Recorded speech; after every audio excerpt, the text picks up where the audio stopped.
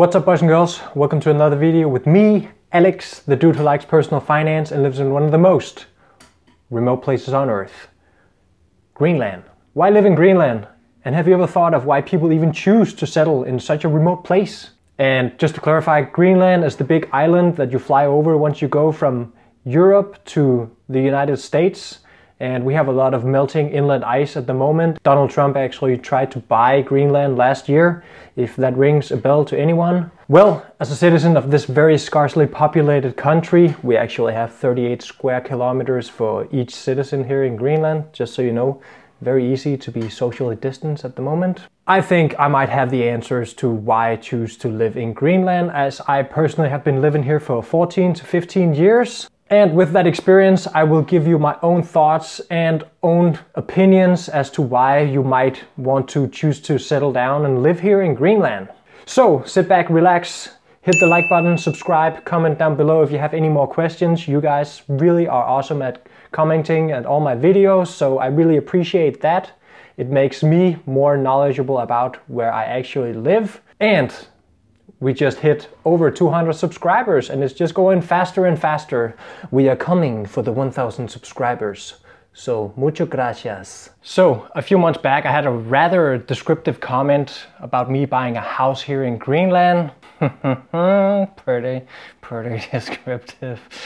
But what I took from that comment was, first of all, very good comparison between Greenland and a fridge, but also the comment of why even choose to live here in Greenland. And that one really got me thinking, which is why I'm making this video. It really is a very good question as to why I even choose to live here in Greenland, you know, when it's extremely cold and dark outside and you're just thinking of lying down on the beach and soaking in the sun with a good drink in your hand or just some water if you feel like that. But I still live here and hopefully these five whys will give you a better understanding of living in Greenland and why live in Greenland in the first place. Number one, definitely short distances. I mean, in Greenland you can get to pretty much anywhere in the matter of minutes, since the distances in the towns, not between the towns, but in the towns are so small and you don't even have to own a car, for example. I don't own a car. The term commuting is not very much used here in Greenland. Well, we do get traffic jams in Nuuk, but I think we can all agree upon that we have all seen worse traffic jams compared to the ones we have in Nuuk.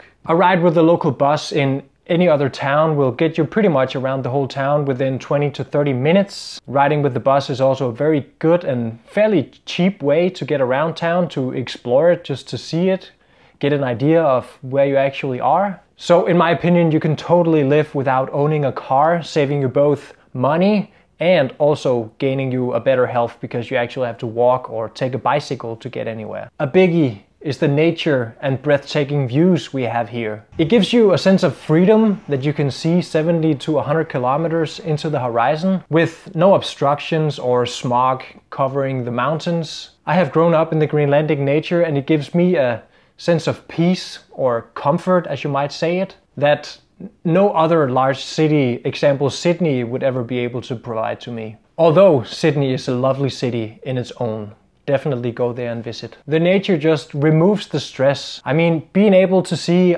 icebergs floating by and watching the sun rise up in the horizon, and pretty much just knowing how insignificant we as human beings are compared to the large nature we have here. I personally think that the nature has a lot more power than we actually provide to it. Just to give you an example, the global warming that where we as human beings are pretty much screwing up the planet at the moment. And if we don't do anything about it, a lot of people will lose their livelihoods and their homes and some people might end up dying and becoming climate change refugees. Actually, up here in Greenland, we have this sort of cultural acceptance as to how powerful the nature just is. Let's give an example. You want to go from point A to point B, you know, traveling between two cities. You will never be 100% sure that you actually will get to the destination that you wanted to go to to begin with because Sometimes there's a snowstorm. I mean, I got stuck in Kangerlussuaq for two days going up here to Sisimiut where I am at the moment. As you can see,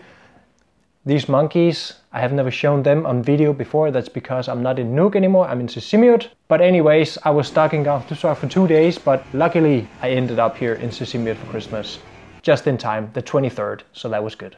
But besides the plane delays, the nature really helps me with oftentimes very busy work schedules and it pretty much just calms me down. And I really like that about Greenland. Another good reason as to why I live here in Greenland are the fairly fair salaries we have and work weeks of roughly 40 hours per week and of course also the free healthcare we have. So just like any other country in Scandinavia, usually those are the countries that we compare ourselves with, we do have fairly short work weeks. A typical work week is 40 hours, but be aware some companies choose to pay and not to pay for your lunch, so be aware of that. It also means that you can take weekends off and you can actually do something with your day once you get back home. I mean, you can choose to start your own side hustle, which I am trying to do at the moment with the YouTubes and stuff. Or you can pretty much sit and meditate the whole day and all of the weekends. It is up to you what you want to spend your time with. Being a university graduate or a carpenter or a plumber or any other professions bachelor, I think that you get paid a fairly okay salary for living up here. Not speaking for unqualified work, but I think if you have a sought after degree, like a plumber or a carpenter at the moment, I think you get fairly well compensated for living here. And the healthcare is also free if you ever get a chance to get a hold of them over the very busy hospital phone lines. Lastly, I also have a video of where I go into depth the more personal finance related topics as to why you might want to live here in Greenland. One of them being the 0% in capital gains on stocks. So watch that one up here. I will link it. Numero cuatro. Well, underdeveloped market. I think it's a very large plus for people who actually wants to start something or do something new. As Greenland is not considered 100% a developed country yet, I think that also is a very good why as to why you might want to move and live here because you can actually implement things that has not been implemented yet which might seem otherwise fairly common and used in the country you live in at the moment. So you can actually take a very well and tried out idea in another developed country and just take the idea from where you live at the moment, move to Greenland and implement it up here. So you can actually gain all those monopolic effects that such an implementation might have. As examples, being the first one to implement, let's say, electrical charge points for electric vehicle. Fun fact, all the large cities like Nuuk, Sisimiut and Ilulissat, they all run on clean hydropower energy at the moment. Other ones could be geocoding for Google Maps, a real estate marketplace platform. I might do that one. I think that would be pretty cool to have everything gathered in one spot. Also, hydroponic farming, which they actually are trying out at the moment, but we could all be self-sufficient if we chose to grow more crops and grow more indoor with the hydroponic farming technology that is available at the moment. Another one could also be server hosting. I mean, we have fairly frigid temperatures year round, very good for cooling down large servers. And we also have the internet cable coming from Canada and Iceland. And of course, the alright cheap hydropower we have. Basically just taking other ideas that are otherwise fairly successfully implemented in other countries, taking that idea, dropping it down here in Greenland and introduce them to the marketplace I really believe that people who move to Greenland with an idea that they want to implement, which has been tried in other countries before, or brand new idea, you can become fairly successful up here.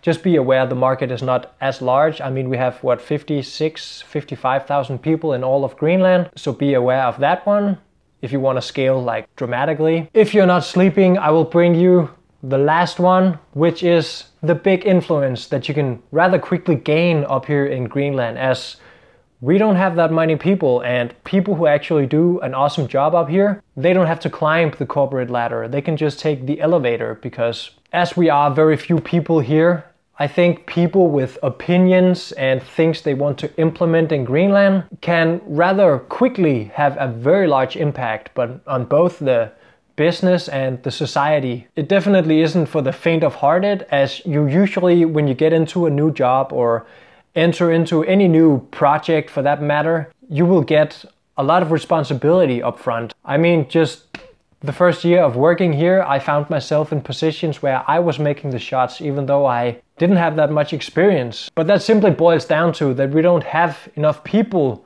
to do all the jobs that we actually want to get done up here. So if you like responsibility, it is a good way to gain experience and to advance quickly here. It just goes faster. And I think that was it because usually attention spans tend to be fairly short here on YouTube.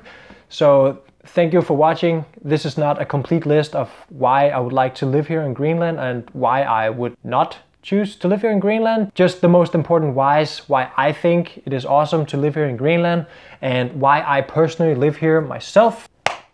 So with that said, thank you so much for watching. Don't forget to hit the like button. It really helps out with the algorithm and showing these videos to other people who might be interested in them. Don't forget to subscribe, comment down below if you have any questions. I might make a video about it and see you next time on the next video. Okay, bye.